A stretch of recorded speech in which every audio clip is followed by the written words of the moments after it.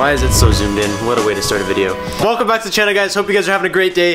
Today we have something really cool for the 240. I almost call it the Civic. Um, it was red, dude. I saw the corner of my eye and I just was like, Civic. Anyways, when we took it for a drive the other day, we couldn't really do much because we didn't know any of our readings and we didn't have any of our gauges. So, if you guys remember when we did the Civic, the Civic was like our, our first real build, I guess, and it was like we kind of tested a lot of stuff, and we have a lot of like random mismatching gauges, and it's kind of, it's, it's ugly. It's, I like it. I like it. I think it suits the car, actually. I think it's cool because you have Different things? Yeah. Yeah, I don't know. It doesn't bug me. It never, bu- like, it never once occurred to me that, like, it's cool because there's gauges in the Civic. didn't bug me, but when it came to boosting the 240, I was like, you know what we should do is just get a bunch of matching gauges because that would look way better. I think that would be the proper thing to do. I don't know. We don't we don't we're out here learning with you guys. So we got a series of gauges. So we we got Glowshift gauges because again, we don't want to be the people that spend like a million dollars and you guys can't relate. yeah, yeah. We're not gonna get the hollow GReddy ones. Yeah. but Glowshift is like a relatively affordable, and of course you guys know I like to hook you up with discounts. You guys can actually use the code Robbie10 and save yourself 10% on all these gauges and every gauge on their website because I love you guys, so I get you guys discount codes. But we decided to go with the, the Glowshift gauges because they're they work really well from what we can see, and they're reasonably priced. So today we got a super cool package in the mail. You want to open it up, bro? Too bad Robbie already opened it. I did open it just to make sure it's all there. We are getting this 240 hooked up, dude. Elite 10, bro. The Elite 10. 10 colors. Tinted. Piggyback system. So you don't have to run so many power cables. Emerson knows all about these gauges. I was literally like, yo, pick your favorite gauges, pick the ultimate gauges for you that you want in the 240, and we gonna get them. They're tinted, so they're nice. They don't like reflect in the sun, and they're like a bunch of different colors. So if we ever change up like the interior lighting, or he just feels like being extra happy, he can put pink on that day. it's like pink, dude. No, that's pink. This isn't a fun game for me. You know what I see when I look at this box? Blue, blue, blue, blue, blue, blue, gray, gray, gray, gray. That was kind of that's accurate actually. Pretty accurate. we got oil pressure, wideband AFR gauge, oil temperature gauge, water temperature gauge. So we also got this little um, it's a hose attachment. So you put this in your coolant line and then that's how You can put your sensor. yeah, that's where your sensor goes to your water temp gauge. And then we also got a sandwich plate. And last but not least, boy, stickers. Not the stickers, man. But I do want one of those. But stickers! not just one, not just two, not just three, not just four, not just five, not just six, not just seven, not just eight, not just nine, but ten. 10 stickers, dude. We are decking out the boxes. Anyways, the last piece that we got is the pillar pod. Thought about maybe putting it like in like a center. Oh yeah, we gotta stick that right there, buddy. Slap it right on the fridge. Do it right now. No, I've never put a sticker on this fridge yet. You haven't put a sticker on the fridge yet? No, Look at all the stickers, dude. How have you not contributed? I've only done my toolbox. Oh, and your toolbox is sadly under stickered.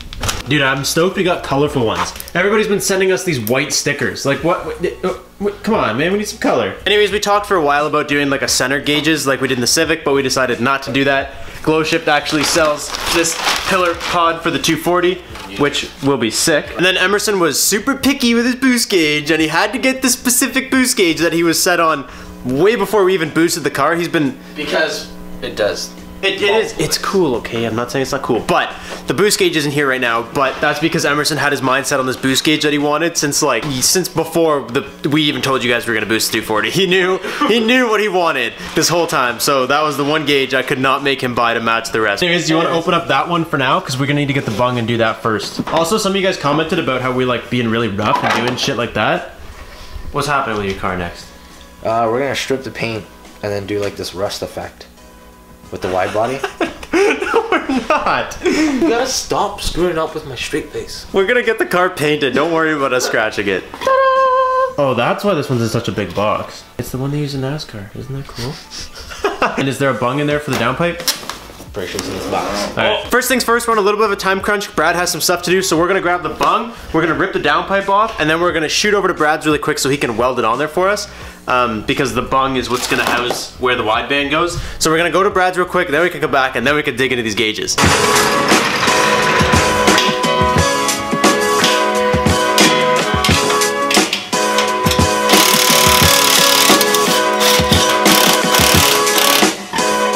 This thing is running so rich right now, this base tune. Dude, as I pop these bolts out, it just smells like gas. Smell that.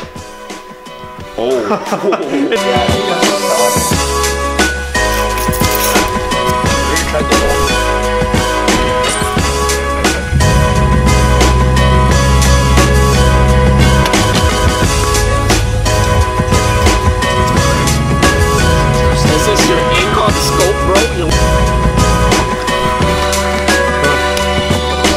much we need you to weld this little guy oh, on there. So if I remember correctly, you want it, I think I did mine 14 inches. We'll probably put it right around here. What about there? what about f- you?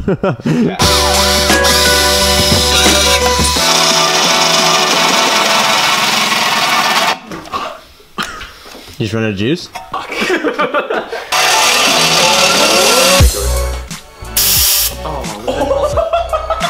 nice job.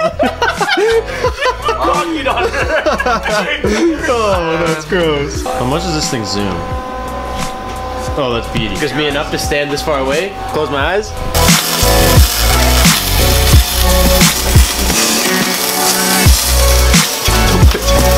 I know, everything in the garage just cuts power.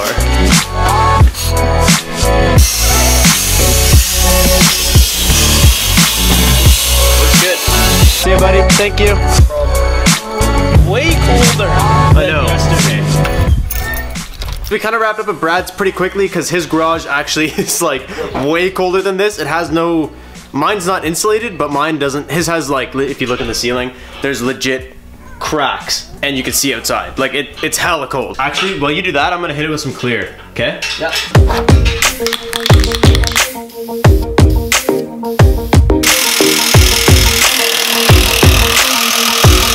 Good? We leave it jacked up so we can do put the O2 in. Yeah, which gauge do you want to put on first? O2, so then we can drop the car. That's in there tight. That's not going anywhere. Oh wow. Yeah, I'm not joking. It's not coming out. Cut to spec, they eh? say. Oh yeah. Dude, that is sick. You can kind of see it in the, if you get the So weird. So it just looks like a little. I know. It's such a little tiny little guy, but it looks sick. We have to, unfortunately, we have to get these all plugged in before we can even show you because the camera just can't see through that. H holder, bro.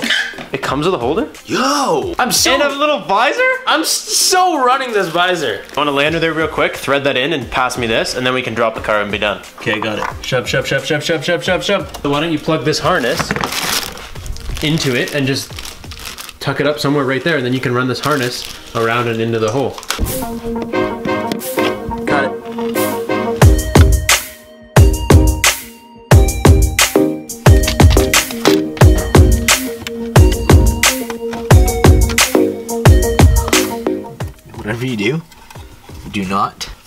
Ask me any questions about the wiring job in here. All right? Had to be fixed somehow. I mean, I won't say anything, but I can't promise that these guys aren't gonna say anything. These wires were so short, I had to extend them, and I only had blue. Oh, dude. At least you labeled them all properly. I know, right? So when you bought it, it was just like someone had already. Like they cut the old harness off. They didn't use like the adapter thing. Cut the wires and hardwired each wire. Jeez. And then when I went to go check it to put a new radio in, these wires were so short I- I couldn't do anything. So I had to extend them, and I only had blue wires. we were in the middle of installing this one, and Emerson was like, "Wait, we need to power one more gauge because basically, like, this is a power wire for the gauges. So he's gonna tap into the 12 volt constant power ground source for one gauge, and then on the back of this gauge, you plug in this little thingy." This is like another main reason why he really wanted these ones because he was really hyped about the daisy chain. I don't know anyone else that does this. But this No, cool. me neither. I've never So- heard of it till you said it. So if we run this power cable to the back of this gauge, then you can run that little loop from another port behind this gauge then- to the next one. And, then then you can run another one from this gauge to the next one. So when it comes to power, we only have to run two power sources, one to the AFR and one to the first gauge in the chain of these gauges.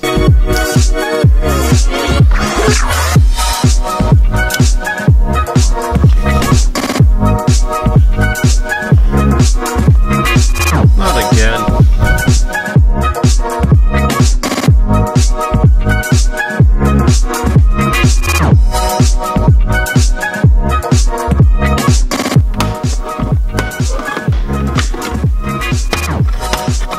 Now, I don't know if that was the sound of taking them out successfully or the sound of I just broke every single one. Well, let's just hope that you took them out successfully. This one looks broken at the bottom. It says in those four locations, but Okay. yours isn't exactly that. Here? And here. Right here, these two bottom corners. Wow. I do it one at a time. Oh, you know what? Once we put these in here, we can't take them back out. Yeah, that's the point. Okay. Can we trade with you?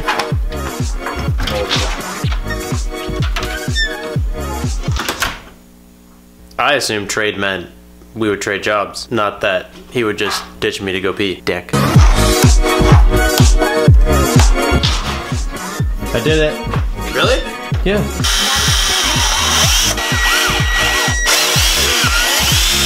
Then you want to drill holes like right here? Okay, pretty big ones, right, for the wires?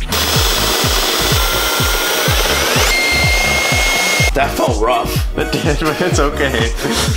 I'm sorry it was a little rough. So now we should just have to run like the sensors, then the wires from the sensors to the gauges, and then, oh, do you want to test the lighting first? You want to do the daisy chain and see if they all light up to make sure that we did the first step properly? Gauges and daisy chains. What's the first gauge that you wired to there? It doesn't matter? doesn't doesn't matter, but I'd probably do oil pressure. Oh, good, that's what I have. So this one will go to A, and then you can plug it into your B. Oh, did you make sure it was clicked in all the way? The one I just gave you wasn't clicked in all the way, because this one just clicked in, and I was like, uh oh, I did not feel that. Okay, ready? Moment of truth if it actually works. Oh, yeah, buddy. That's sick. You literally right away that you just heard them. Oh, you didn't even plug that one in. I was like, why is this one right when you did it, it just went and you heard them all dial up. That's so cool. And then they all light back up. Well, it's because these ones don't have a sensor to it. Yeah, they're like, the hell's going on? Dude, we're gonna make, every time you give me your car, I'm gonna give it back with pink gauges. Like I said, I don't care that they're all mismatched, but after seeing Emerson's like all the same, there's no way that after we get the new motor in the Civic, I can't not have matching gauges. That's just, it's too cool. And where do you wanna run that water temp one? Just right here?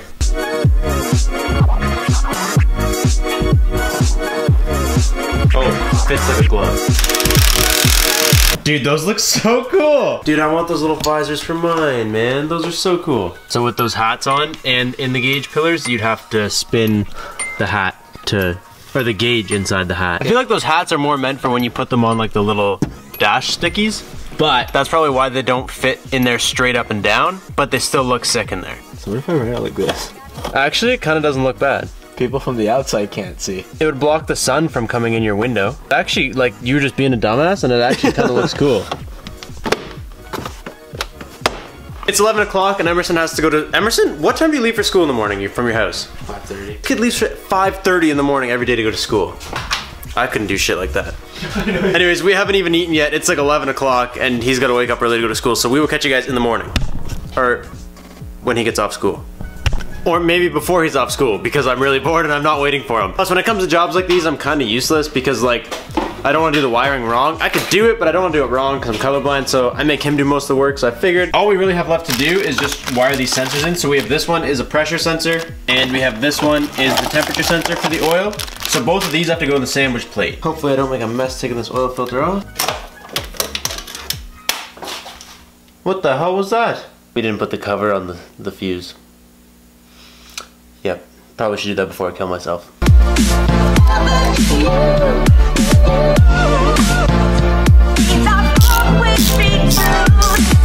I am so happy that that worked. I want to see if I can show you guys how, just like how tight this is. Emerson was super paranoid this wasn't gonna work, so he's gonna be stoked when he get, gets over here and sees that I did it. Oh, it's really hard to tell. Anyways, you guys can just, you can see, it's super tight. Oh, I did all the oil fittings. Re- Did you put? Did you put the new one on? Yeah. Yeah. I thought- We need to put a cover on that before we kill ourselves. Like you could touch one, but you, if you touch both, that's. Yeah, well, the oil wrench is like big enough that it probably z- it dragged across both, right? that probably scared the fuck out of you. It did, dude. I literally just stood there. I was like, did I just die? Kind of ugly, but it'll work. Don't be idiots. Cover that from day one. Do not follow in our footsteps because we are idiots. I was telling you guys that we're gonna wait to put that other gauge in like a center holder, but I think for now we may as well just toss plus one of these guys in. Throw it in there for now, at least. I'm gonna put that AFR gauge just in one of these little pod guys until we get the the rest of it going. it does look a little stupid, but that's okay. I didn't even bother wasting the double-sided tape because it's literally gonna be on here for like days. So there's no point in wasting the tape. All right, Emerson got everything inside tucked up. It is not final. Like, let me let me remind you guys, it is not final. It is just for today to make sure it all works. And then once we get the rest of the other gauges figured out, we will finalize everything. So if it looks a little rough, don't judge us. Let's get a, a little demo of these gauges.